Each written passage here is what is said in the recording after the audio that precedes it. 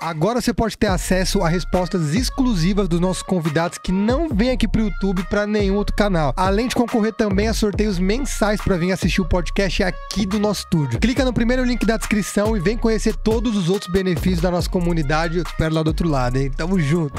Sobre rejeição, vamos entrar Uhum. no, no assunto rejeição. Boa. Eu sempre bato na tecla que, tipo, todo mundo é rejeitado, mano. Não importa o quão shed você seja, o quão Sim, destacado e gato e rico, todo mundo vai ser dispensado por alguém, vai ser rejeitado por alguém, exatamente porque os gostos são muito diversos e são muito Sim. individuais, tá ligado? Pode pegar um Neymar da vida, mano. Rico pra caralho, bem sucedido, famoso, tal, tal, tal. Vai ter gente que vai olhar e falar assim, mano, futebol não é uma parada que, que me encanta, não. Inclusive, nem assisto. Neymar é aquele, é aquele 10 lá, né? Tem gente que é assim, tá ligado? Só que a gente tá tão acostumado a achar que todo mundo não é rejeitado e só a gente é rejeitado, que a gente fica cada vez mais medroso em ser rejeitado, Nossa. tá ligado? Mano, teve uma coisa que, que eu, tipo, não que eu adorei ver, mas achei legal ver. Uma vez um cara mostrou o direct de uma mina muito gata lá de Joinville e tava direct do Neymar e do Pombo que ela nem abriu. Ela nem abriu o Eita direct. Eu falei, porra. caralho, fiado, confiante essa mina, hein, mano? Caralho. Que isso, que acho- que isso? Quem, quem você pensa que é, tá ligado? Não, brincadeira. Mas você vê como esses caras são rejeitados. Meu irmão, se o Neymar é rejeitado, pode, pode chegar naquela mina. Tá tudo bem É, ser porque- rejeitado também, tá Por ligado? que, que as pessoas você acha? É, é humilhante ser rejeitado? Por isso as pessoas têm tanto medo? Tipo, dói num ponto da cabeça? Qual que é no seu Mano, ponto de ser vista? rejeitado é uma parada do, do, do cérebro primitivo também, velho.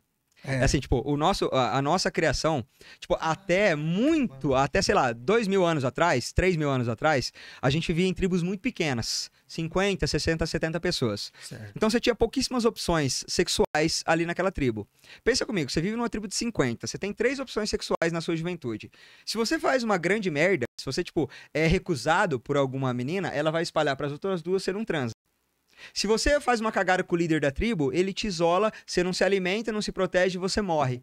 Então, a parada de ser rejeitado, o medo da rejeição, remete ao cérebro primitivo, ao cuidado. Ó, eu não posso desagradar a tribo, eu não posso arriscar, eu não posso fazer isso e aquilo, entendeu? Então, isso remete ao cérebro primitivo. E também a rejeição, ela, em alguma forma, causa uma dor no ego também. Já que a gente passou a infância inteira sendo validado e aceito pelos nossos pais, quando isso não acontece, rola um choque de realidade. Tipo, que porra é essa, mano? Como assim não? O que é não? Entende? E aí, só que isso que é muito bacana. A rejeição é uma parada muito, muito, muito acostumável, mano. Uhum. Muito, Muito. tá É ligado? verdade. Quanto mais rejeitado você for, mano, mais você percebe que você não morre. Mais você percebe que, tipo, isso, é, isso faz parte da natureza da vida, da natureza humana.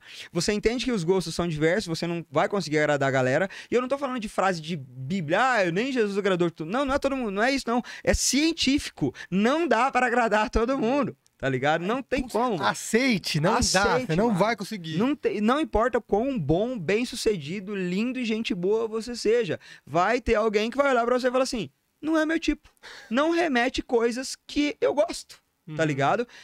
E quanto mais você entende essa parada, mais livre você se torna, mano. Mano, Uhum. se eu sou um cara que entende que eu vou ser rejeitado pelas pessoas, eu consigo chegar em todas as mulheres que eu quiser, mano.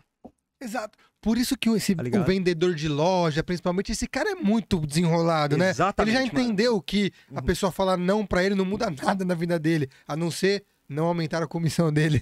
Exatamente ligado? isso, mano. Mas- E, tipo, ele entende que nem todo mundo que entra na loja entra pra comprar, É, tá ligado? E, mano, existem um milhão de fatores que fazem a pessoa entrar na loja e comprar. E que, tipo, sei lá, desses um milhão, 10 estão ao alcance dele. sim. E a mesma coisa serve pra chegar em menina.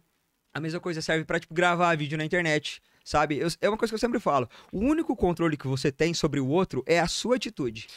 Tá ligado? Se você é educado, se você, se você tratou bem, se você fez um esforço bacana pra despertar emoções positivas na pessoa Sim. e ainda assim ela não gostou, toca a tua vida, meu irmão. Vaza dali. Hello, my friend! Você tá no canal de cortes do Papo Mil Grau. Muito obrigado por assistir mais esse vídeo. Já se inscreve no canal pra dar aquela moral pro nosso trampo. Tamo junto.